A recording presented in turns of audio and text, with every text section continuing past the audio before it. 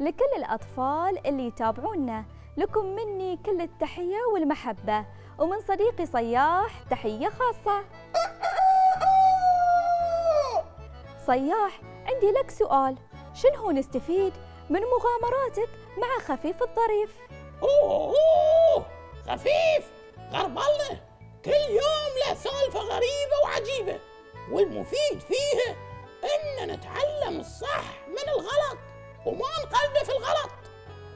عافية عليك تعالوا نتعلم المزيد ونبدأ فقراتنا.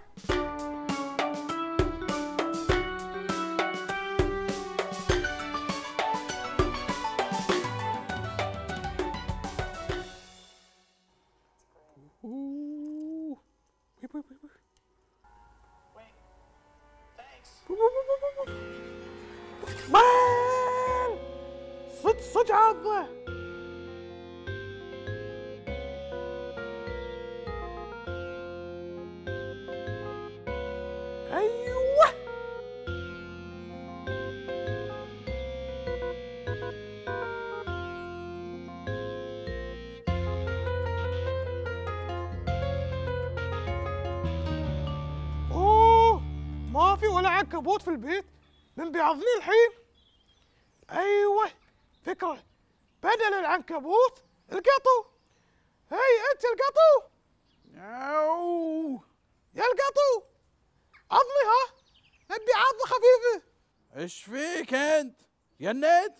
روح منك. أقول لك عضني. روح يبا منك روح. مالي خلقة غشمر.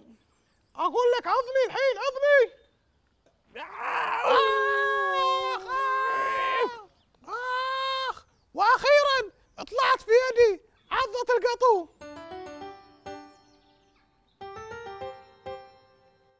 واه!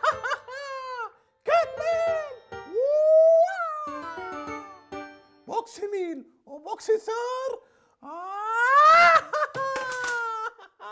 خفيف إيش صاير إيش صاير هلا هلا يدي ما صار شيء بالقارة الصينية وطاحت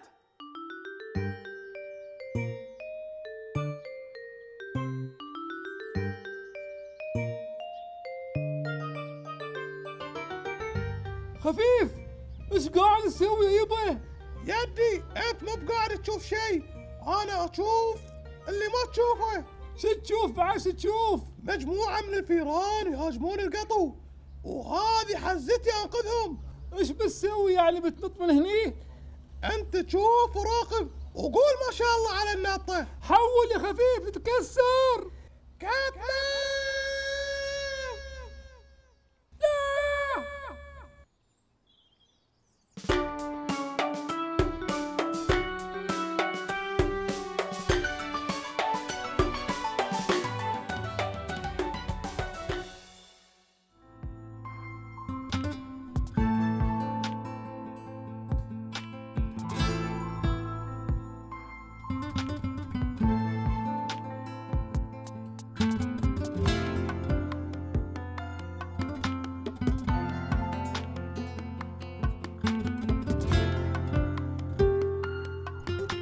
إحنا اليوم نشوف فرح مهتمة في المجال الرياضي وبالأخص التايكواندو.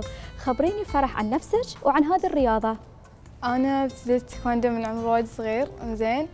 أه قبل لا ادش تايكواندو دخلت آه، بس ما عجبتني اللعبة كثر ما عجبتني التايكواندو واستهوتني. فلما دخلت تايكواندو يعني حسيت ان نفسي في تايكواندو أكثر. شنو سبب اختيارك لهذه الرياضة بالتحديد؟ كان السبب فيلم آه، يوم كنت أشوف الفيلم يعني حسيت إن عجبني الوضع وحبيت الأشياء اللي هم يسوونها والمهارات اللي كانت موجودة فقررنا أخوي ندش تايكواندو. التايكواندو طبعا هي لعبة قديمة أعطيني تفاصيل عن هاي اللعبة. هاي اللعبة هي من الفنون القتالية حق الدفاع عن النفس بس لازم نستخدمها بس في الضرورة يعني مو في كل وقت لأن هاي الشيء بعد نتعاقب عليه قانونيا إذا استخدمناها للعب يعني أو المزح هي هاي اللعبة آه، مو بس يعني فنون قتالية هي آه، تزيد ثقة ثقتك في نفسك وتعطيك طموح انك تنجزين لما يكون عندك طموح انك تنجزين آه، تبادرين أكثر. يعني لما تكون اللعبة تعجبك تبادرين أكثر. طبعا هاي اللعبة لها مراحل. ذكري لي المراحل وشرحي شرح مبسط عن كل مرحلة. عندنا مسابقات البومسي وال fighting. طبعا البومسي لازم تكونين متدربة عليها يعني لازم تكونين ممارستها عدل حتى ال fight. آه لأن إحنا عندنا لاعبين لاعب fight ولاعب بومسي ال fight اللي هو اللعب يعني القتال اللي نسويه. بس البومسي هي مجموعة حركات إنزين آه حق الأحزمة. يعني مثل لو أنا عندي آه، حزام أبيض أنا أسوي بومسي 1 طبعا عندي أنا كل الأحزمة الحمد لله. الحين الحزام الأسود بس بعد الحزام الأسود عنده مراحل. عندنا ثمان مراحل بس أنا الحين في المرحلة الأولى. بالنسبة طبعا لهذه الرياضة فيها فوز وخسارة. شنو هي شروط الفوز في هذه الرياضة؟ لما نكون في الفايت يكون في أكثر من أشياء. يعني لما نضرب لازم يكون في نقاط. عندنا شيء اسمه الهوجو الإلكتروني هو اللي يحسب النقاط. عشان لو لعبنا آه، يحدد من الفايز واللي يضرب أكثر هو الفايز يعني اللي تكون نقاطه أكثر. طبعا هذه الرياضة لها أوقية. شنو هي الأوقية المستخدمة في هذه الرياضة؟ عندنا الهوجو اللي هو واقي الصدر آه، وعندنا واقي الأسنان وال head gear وعندنا الكسرات.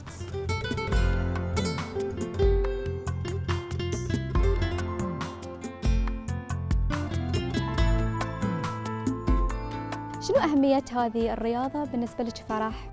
تايكواندو صراحة صارت كل حياتي يعني صرت أحب أجي مني أكثر وقت يعني أقضي أكثر وقتي في النادي. عشان شي يعني تايكواندو صارت شيء مهم وايد بحياتي. طبعا أنت فرح شاركتي في مسابقات عديدة. ذكري لي هذه المسابقات والجوائز اللي حصلتي عليها. حصلت جائزة عام الذهب والنجم الواعد. وبخصوص البطولات المحلية رحت أرادوس وكأس السفير الأولى والثانية وبرا رحت الفجيرة الأولى والثانية وألبانيا. طبعا أنت فرح مشتركة في أحد المراكز. خبرينا عن أهمية هاي المركز. شلون فرح حاولت أن هي تطور من نفسها؟ طبعا أنا ما اشتركت في أي نادي غير نادي عبد الله الدوي. ف بس مني يعني حسيت وايد بالانتماء ويعني حبيت اللعبة أكثر. الكابتن يعني الله يعطيه الصحة والعافية كان وايد يحب إنه يشوف لاعبينه آه، ينجزون وما راح يعني كان يحببنا في اللعبة أكثر. طبعا لوالدتك دور كبير في إنها تشجعك وإن أنت تتطورين في هذا المجال. خبريني عن الدعم اللي تقدمه لك الوالدة. طبعا أمي دعمتني من كل النواحي الله يعطيها الصحة والعافية. من ناحية الدعم المعنوي والمادي وحتى كانت تجي وياي البطولات عشان تشجعني من هناك بالنسبة لك فرح شنو حلمك وطموحك المستقبلي؟ طموحي إني أصير بطلة عالم إن شاء الله وإني أكون عنصر فعال في الديرة شنو حابة تقولين للأطفال اللي يشاهدون فرح؟ أول شيء قبل لا أقول حق الأطفال يعني حق أولياء الأمور خلي يساعدون أطفالهم إنه يلاقون نفسهم وهواياتهم يعني اللي تعجبهم عشان يقدرون يعني يكتسبون ثقة في النفس وشي.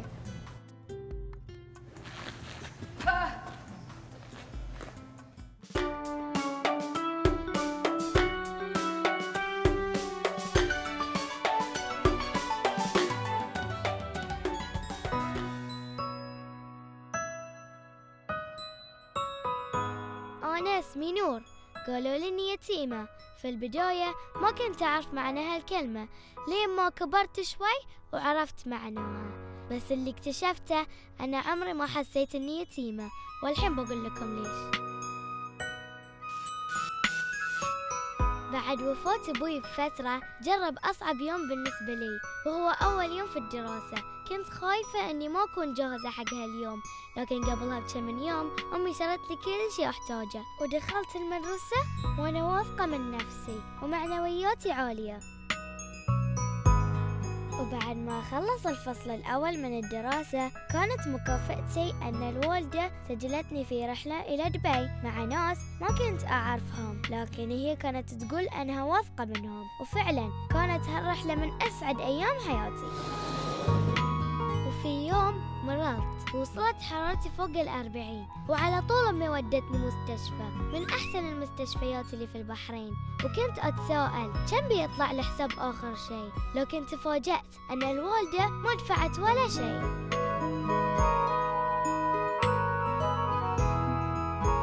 وفي الإجازة كان خاطري أطلع مع ربعي. نروح سينما ونتعشى في مجمع ولما قلت حق أمي وافقت وعطتني الفلوس ولا كان يبين عليها أنها متضايقة أو تحاتي مصرف البيت. بالعكس كانت تفرح لما تحس أني طالعة غير جو.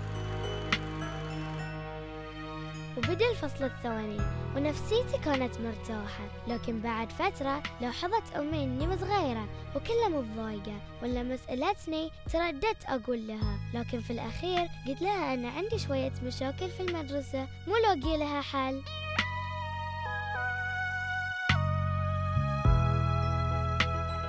وبعد يومين رحنا حق مكان كأنه عيادة بس وايد أحلى وأهدى. دخلت على واحد كان مستعد يسمع مشاكلي بكل تفاصيلها علشان يحاول يلقى لي حل. وفعلا لقى لي مجموعة من الحلول اللي لما بديت أطبقها راحت كل المشاكل ورجعت مثل أول وأحسن.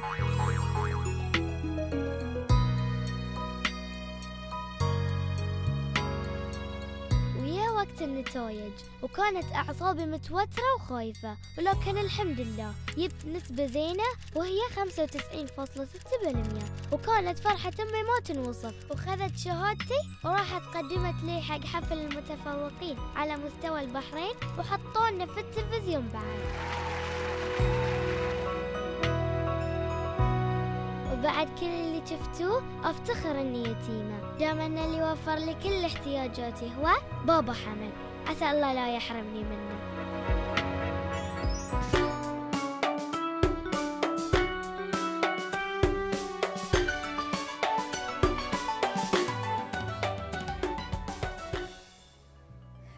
لكم أصدقائي الأطفال بعد ما شفنا هذه الفقرات الحلوة الممتعة.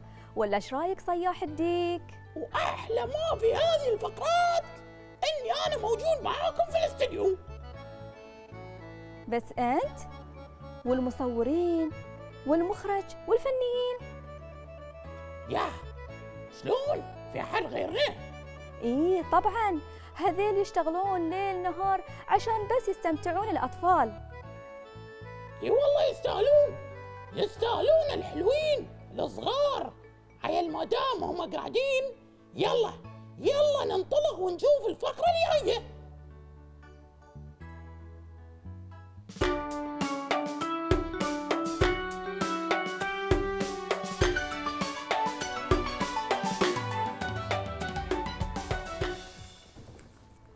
يا هلا وسهلا فيكم مشاهدينا في فقرة بيدي أصنع. معكم إيمان الجيب ومعانا البطل يوسف ومعانا الجميلة ماريا. اليوم بإذن الله بنعلمكم رسم بس بطريقة كلش جديدة. تتوقعون ترسمون اليوم بشنو؟ ما في فراشه وين إيش- بشنو بنرسم؟ شلون؟ بنرسم؟ بنرسم بالقوطي مثلا بنحط كذي ألوان بعدين هو. إحنا بنحط كذي ألوان لكن بس في بعدها مسطرة. بنحركهم بالمسطرة بطريقة دائرية. أوه يعني هاللون بفرة اي الصوت مزعج شوية. صوت مزعج بس بعدين لأن بنحط ألوان ما بيطلع هذا الصوت. اي okay أول شيء نحط ألوان بطريقة عشوائية. okay. نقط نقط نقط كذي. يلا يلا. مني. ماريا. مني. آه نحط اللون نفسه في مجموعة أماكن okay. مني مني. مني. وكل ما تحطون ألوان وايد كل ما يندمجون مع بعض فحاسبوا على اختياركم للألوان. يعني هاي النتيجة اللي بتكون؟ إيه. نفس اللوحة ذي اللي يمنا إيه.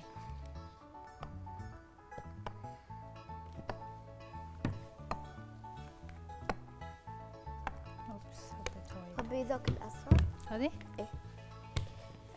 حاول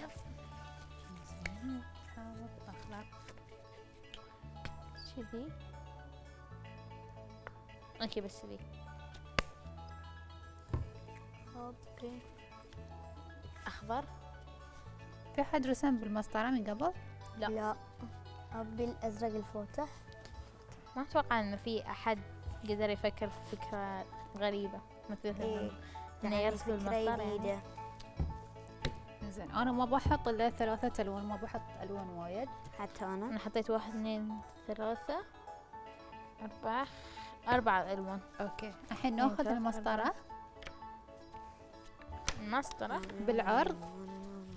نأخذها ونحطها ونفر بالعدال. زين.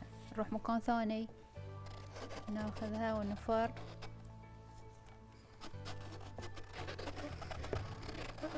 ناخذها ونفر مكان ثاني.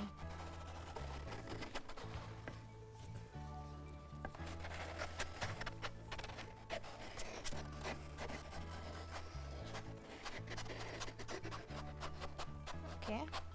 okay.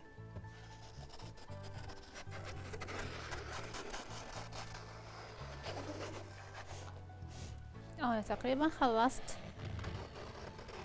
الشكل مالي حلو صار.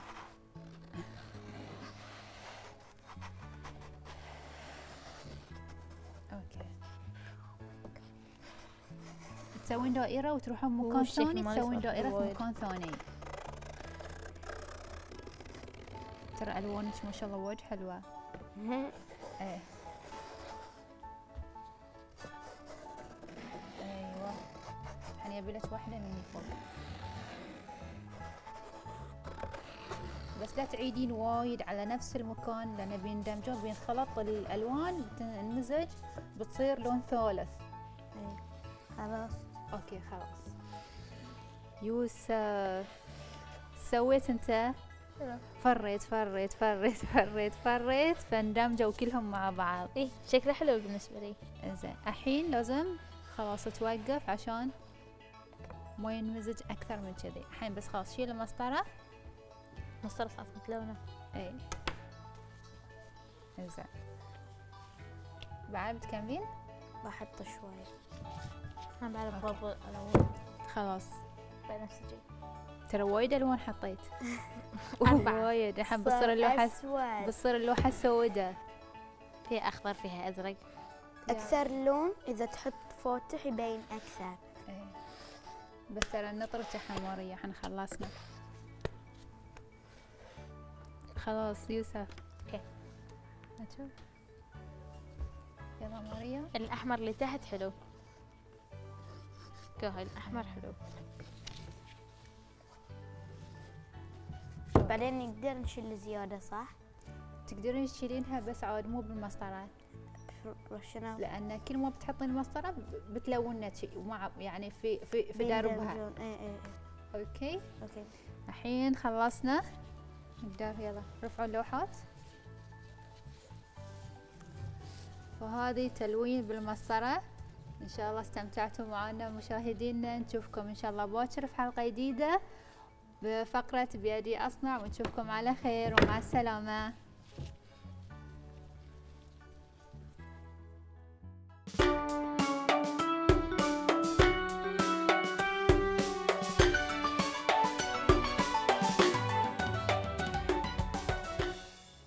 وصلنا أصدقائي إلى الختام. وإن شاء الله تكونون استمتعتوا ويانا الصراحة آنسة إيمان إن الوقت مر بسرعة. طبعا الشيء الحلو دائما يمشي بسرعة. لكن ما عليكم. بكرة بتشوفون شيء جديد. ومع السلامة. مع السلامة. سؤال اليوم. أذكر خمسة مشاريع أقامتها المؤسسة الملكية للأعمال الإنسانية في فلسطين.